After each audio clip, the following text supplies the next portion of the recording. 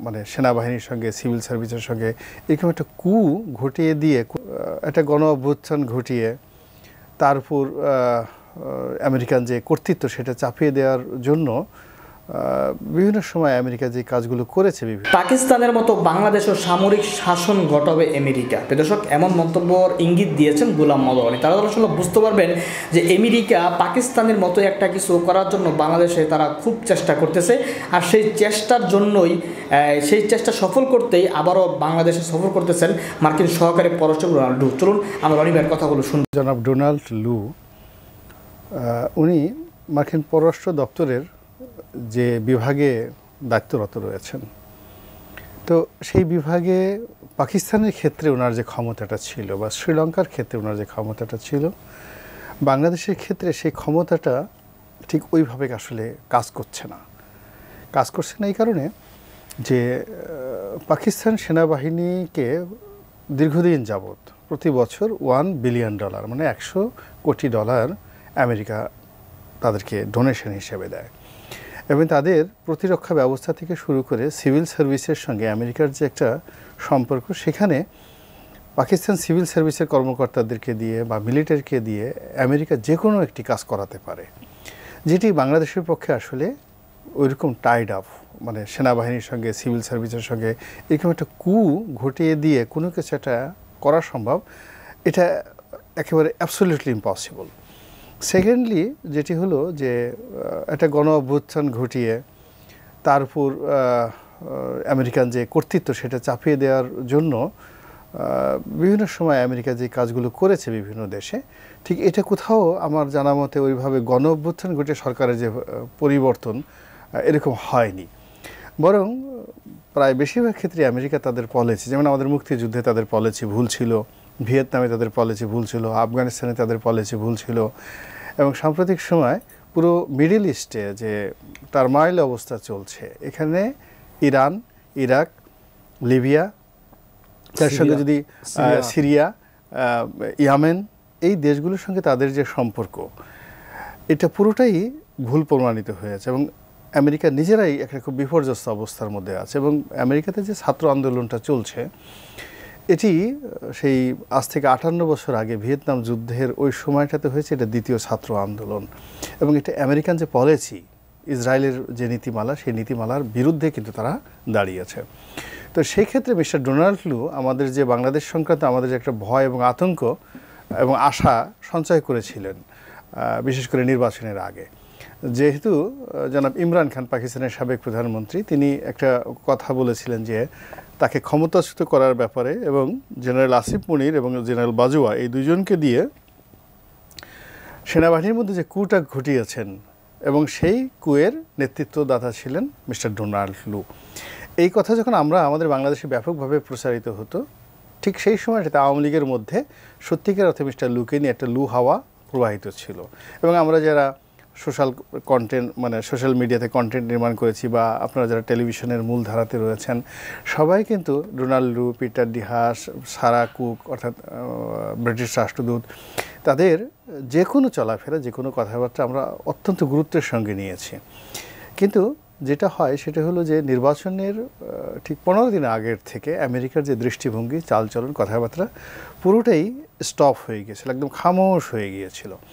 তো খামোশ হওয়ার পরে অনেকে হয়তো বলেছে যে এই যে এটা একটা ঝড়ের পূর্ব লক্ষণ, তারা যে এত নরম হয়ে গেল বা এত কথাবার্তা বলছে সবাই বলেছেন আশাবাদী যারা যে নির্বাচনটা করতে দাও, নির্বাচনের পরের দিনই নিষেধাজ্ঞা চলে আসবে বা তারা একটা বিরাট কিছু করবে।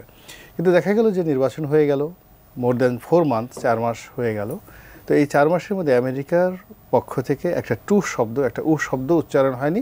যে কথাগুলো হয়েছে তারা বলেছে খুব গতানুগতিক কথা, যে নির্বাচনের ব্যাপারে আমাদের দৃষ্টিভঙ্গি আগের মতো আছে, বাংলাদেশের ব্যাপারে দৃষ্টিভঙ্গি আগের মতো আছে, তো আমাদের কি?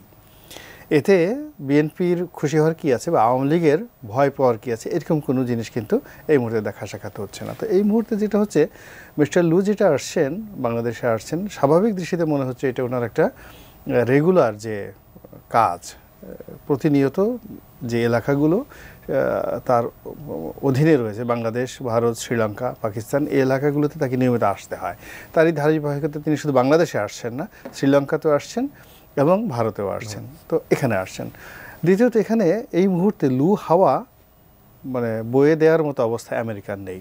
কারণ আমেরিকাতে নির্বাচন নিয়ে তারা সবাই খুব ব্যস্ত।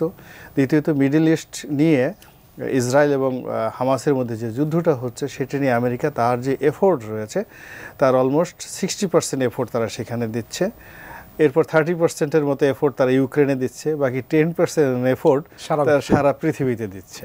তো সেই দিক থেকে বাংলাদেশের যে বিষয়টি রয়েছে যদিও তাদের কোনো যদি চিন্তা বা সিদ্ধান্ত থেকে থাকে এটি এখন আমলাতান্ত্রিক জটিলতার কারণে এটি পিছনে চলে গিয়েছে। এটি হলো একেবারে নির্মোহ দৃষ্টি থেকে যদি বলা হয়। আর যদি আপনি বিএনপি বা অন্য অন্য যে সমস্ত রাজনৈতিক দল তাদের দৃষ্টিকোণ থেকে যদি আপনি বলতে চান সেটা হলো যে আমেরিকার কতগুলো ফান্ডামেন্টাল বেসিক চরিত্র রয়েছে? সেটা তারা যখন কোনো একটা বিষয়ের সিদ্ধান্ত নেয়, এমনও ঘটনা ঘটেছে, পঞ্চাশ বছর পর তারা কিন্তু সেই সিদ্ধান্তটা বাস্তবায়ন করেছে। তো বাংলাদেশ নিয়ে তাদের যে বাড়াবাড়ি ছিল, তারপরে বাংলাদেশ নিয়ে তাদের যে সিদ্ধান্ত ছিল, সেটা বিএনপির পক্ষে হোক, বিপক্ষে হোক যা কিছু হোক না কেন গণতন্ত্রের পক্ষে, এই জায়গা থেকে আমেরিকার আসলে পিছিয়ে যাওয়ার কোনো রকম ওয়ে নেই। এর কারণ হলো এই গণতন্ত্র এবং মানবাধিকার, এই দুটোকে তারা মানে নিজেদের হাতিয়ার হিসেবে ব্যবহার করে সারা বিশ্বকে তারা শাসন করছে। তো এই গণতন্ত্রকে মানে আমেরিকান গণতন্ত্র, তারা নিজেদের দেশে যেভাবে গণতন্ত্র প্রতিষ্ঠা করে, ঠিক এই গণতন্ত্র তারা বলতেই থাকবে। ইভেন উগান্ডাতে চল্লিশ বছর যাবৎ নতুন মানে তাদের বিরুদ্ধবাদী সরকার। তো তারা আমেরিকাকে গালাগালি করছে। আর আমেরিকাও কিন্তু এখনও পর্যন্ত চল্লিশ বছর ধরে উগান্ডার বিরুদ্ধে তারা কিন্তু বক্তব্য দিয়ে যাচ্ছে। এর মধ্যে উগান্ডা অনেক উন্নয়ন করেছে। সীমাহীন, আমাদের বাংলাদেশের চেয়ে অন্তত পক্ষে দশ গুণ ভালো করেছে সব ক্ষেত্রে। কিন্তু আমেরিকা কিন্তু তাদের সঙ্গে নেগোসিয়েশন করেনি। কিংবা তাদের সঙ্গে এখনও কোনো বন্ধুত্ব হয়নি। তো বাংলাদেশের ক্ষেত্রে তাদের যে অবস্থা, সেখানে নীতির পরিবর্তন হবে না। এটা হলো স্বাভাবিক ব্যাপার। এটা হলো একটা সাইড আর একটা সাইড হলো আমেরিকা কিন্তু সঙ্গে সঙ্গে আবার সিদ্ধান্ত পরিবর্তন করে। যেমন দেখা গেল, ভারতের সঙ্গে তাদের কিন্তু কখনোই সম্পর্ক ভালো ছিল না। কিন্তু আফগান যুদ্ধকে কেন্দ্র করে অল অন এ সার্ডেন তারা জেনারেল পারভেজ মোশারফকে উচ্ছেদ করে। সেখানে নতুন সরকার আনলো এবং সঙ্গে সঙ্গে ভারতের সঙ্গে একটা ভালো রিলেশন তারা কিন্তু গড়ে তুললো।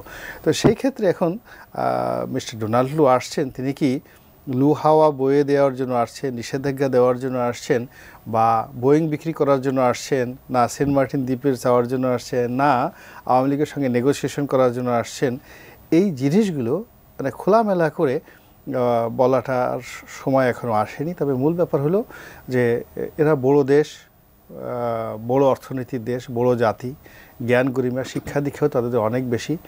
তাদেরকে নিয়ে খুব বেশি তুচ্ছতাচ্ছিল করাটাও বিপজ্জনক আবার তাদেরকে খুব বেশি বড় মনে করে আমরা নিজেদেরকে একেবারে হীনমন্য করাটাও ঠিক হচ্ছে না। এজ এ জেন্টেলম্যান অ্যাগ্রিমেন্ট একজন সম্মানিত সহকারী পররাষ্ট্রমন্ত্রী বাংলাদেশে আসছেন তিনি আমাদের মেহমান। বিএনপির জন্য মেহমান আওয়ামী লীগের জন্য মেহমান। বিএনপি কি চাচ্ছে?